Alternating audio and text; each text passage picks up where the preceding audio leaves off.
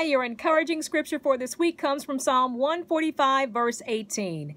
And it says, The Lord is near to all who call on him, to all who call on him in truth.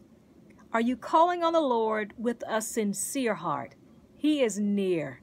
Be encouraged and have a blessed week.